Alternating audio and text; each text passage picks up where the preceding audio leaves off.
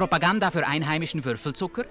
Nein, so unglaubhaft es scheint, hier wird geimpft. Und zwar gegen Kinderlähmung nach der neuesten Methode des Amerikaners Sabin, eine Schutzimpfung, die vom Eidgenössischen Gesundheitsamt empfohlen, im Kanton Basel großen Erfolg hatte und nun auch in Zürich durchgeführt wird.